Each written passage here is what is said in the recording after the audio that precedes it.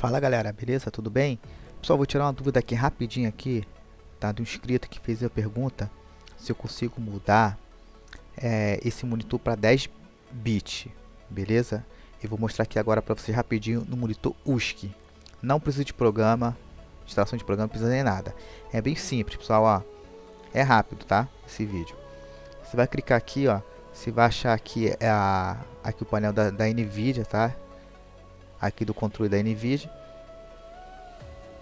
Tá, abriu aqui, pessoal, você vem aqui, ó, mudar resolução, beleza? Aqui, ó, no monitor.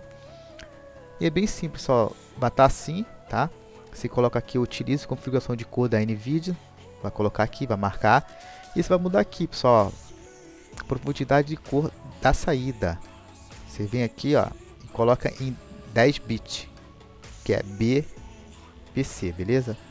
Você vem aqui aplicar, ó. Ele vai dar uma piscadinha no monitor, aguardar um pouco. Pronto.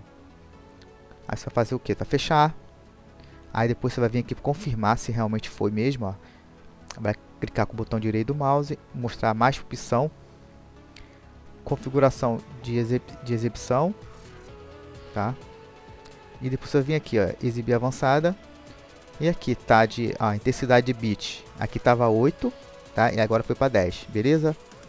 Então, pessoal, dúvida você pode falar abaixo do vídeo. Um forte abraço. Lembrando, pessoal, que chegou aqui meu gabinete novo, pessoal, que vou trazer um unboxing para vocês amanhã, beleza?